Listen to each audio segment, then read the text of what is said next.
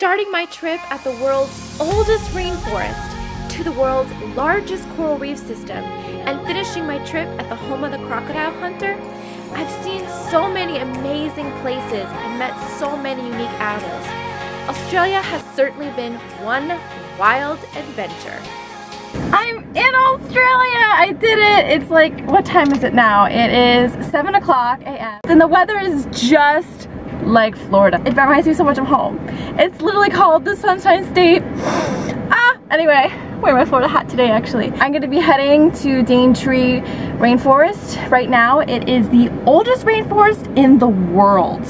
So I'm gonna be heading all the way up to Cape Tribulation. Hopefully I should be back in Port Douglas um, by like 5 p.m. or 6 p.m. tonight because I'm gonna have an early night because I got zero sleep in the plane. So let's go! Alright, now I'm at Mossman Gorge, which is part of the Daintree Rainforest. It's the first part of it. There are several different like UNESCO World Heritage Sites within the Daintree Rainforest, and this is just one of them. This is Mossman Gorge. So I'm just walking down this like um, elevated river boardwalk right now and it's I have the whole place to myself because it's 8 o'clock in the morning and it just opened so there's like literally nobody here um, but yeah this is so peaceful and relaxing and gorgeous. Like look at this. This is beautiful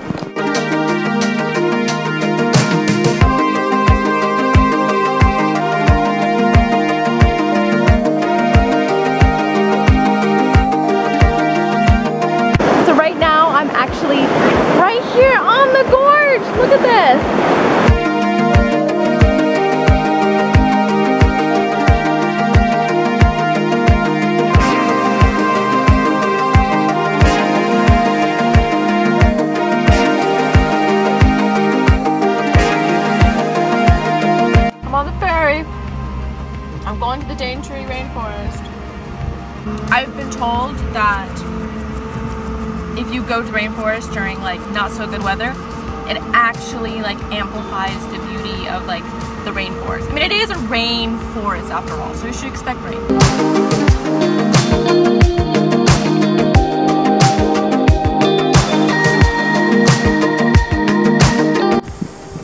What is that? A cloud? An island? A giant mother tree from the swamp and Avatar Last Airbender? Of course that's on my mind. You can see the ocean from here so cool. Okay, I'm currently exploring the world's oldest rainforest, the Daintree Rainforest. I had no idea it was in Australia. I'm literally walking among ancient trees, I think. I don't know. But it is definitely really cool. And it keeps going back and forth between it's sunny and hot and oh no, it's raining. I kind of enjoy that the weather can't quite make up its mind. Keeps me on my toes. I don't know if I'm gonna be wet or hot.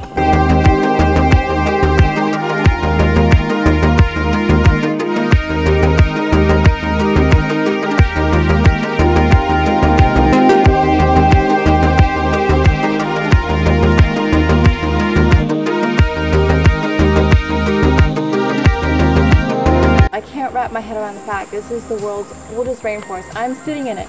This is the first rainforest I've ever been in. And it's strange that I didn't know this was the oldest. I know in the Amazon rainforest, fingers crossed, I run into a giant bird. But until then, I'm just gonna enjoy the jungle around me. Welcome to the jungle! Sorry, I just had to.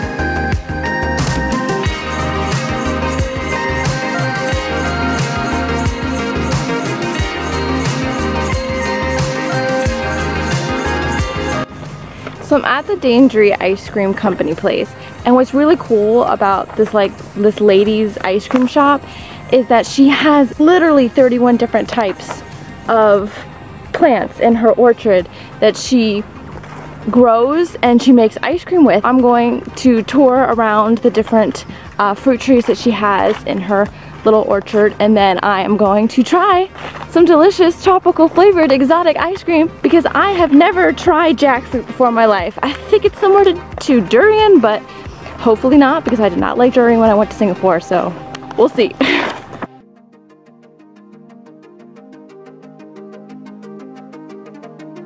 So right now I'm in a jackfruit tree. Jackfruit is the largest tree bone fruit in the world. Can grow up to 46 kilograms. It has unique banana bubblegum flavor and can be cooked in a variety of ways. Interesting, I would have never thought it has a bubblegum flavor, but here we are. This is Davidson plum and it's really sour here. And then this is supposed to be jackfruit. Oh, I touched it. This is wattle seed. And then the last flavor underneath is coconut.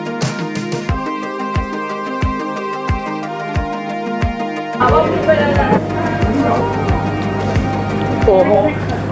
That's really sour. That's sour. I love it.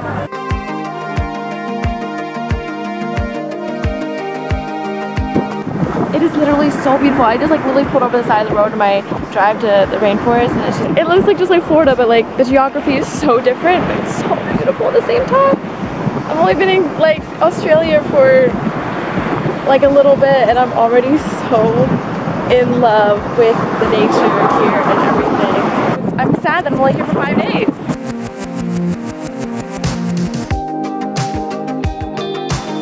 Apparently there are crocodiles that inhabit this area because in Australia, unlike Florida, crocodiles can live in freshwater and saltwater. So that's terrifying. I'm just taking a casual stroll along the coast. The sun came out. The sun came out. Yeah, I'm just gonna enjoy the walk on the beach.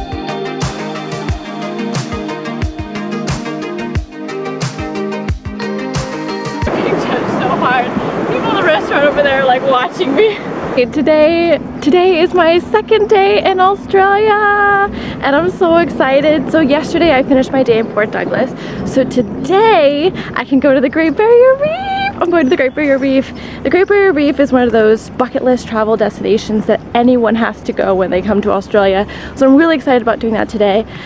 Um, however, I'm not naive, naive enough to believe that the Great Barrier Reef is going to be as it's advertised. It's not going to be this big, colorful, beautiful, vibrant coral reef like it was maybe 70 even 10 years ago because of you know high traffic tourism and global warming has led to a lot of coral bleaching so I don't expect it to be as beautiful as advertised but nonetheless I'm still really excited about you know ticking this off my bucket list. I'm just so excited to be accomplishing this today. So I'm gonna go to the Great Barrier Reef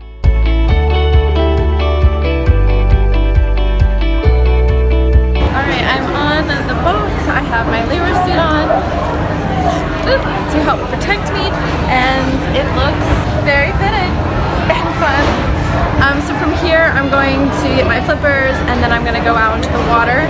Um, I have a one hour snorkeling tour with a marine, marine biologist specialist which is really cool and I'm really looking forward to that. I will do my best to film as much as I can um, but probably not too much in the water. But memories are here they're here. But yeah, here we go. Let's, let's go get into the water.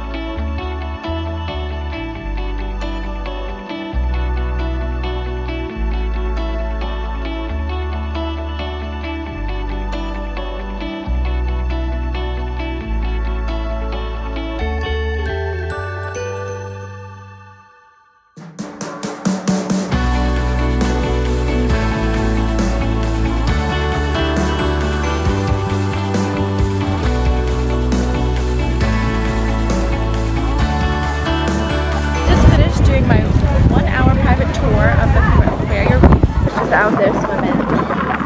I went out like way past that boundary. Reef is so beautiful.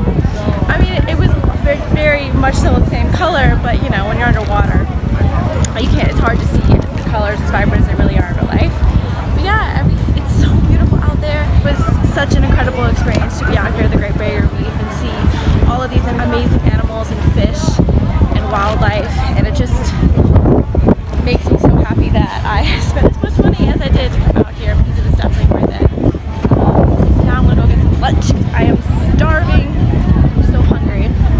So, as you know, I finished my private snorkeling Great Barrier Reef in this area, and it was absolutely amazing. I saw so many exotic fish and crazy, like corals, and I saw a sea turtle. I saw a sea turtle. Oh my god, I saw a sea turtle! It was so cute! It was apparently about a 30 year old sea turtle. I've never seen a sea turtle like out in the ocean before, so that was so cool. But I worked up an appetite. I'm starving, so I have my lunch. As you can see, I've stacked it pretty high because I am so hungry and I just swam for like an hour, so I deserve to eat some food. Even know. I don't even know what to eat first. Basically, there's a two-way street between coral, which is an animal, and an algae, which is a plant. Part of the coral formation that crops weather most of the year round, and uh, this obviously affects the coral in a quite a big way. But um, think I've had quite a successful day out here on the reef. And I saw six people on the underwater boat cruise. I saw a shark, I saw a white sea shark. Um, apparently the most, uh, some of the rare species or whatever. Um, they're the two rarest species of sea turtles. I got to see both of them today at the Barrier Reef because apparently the week prior, last week, they had um, the coral were like had a lot of corals like blooming, releasing spawn, and that is when all of the turtles come out to have some fun with each other. And they all meet here in this area where the coral is spawning. So it was really neat to see all those turtles and a shark. Today, today was awesome. You forgot to add drop bears. What? Shh, shh, don't scare her.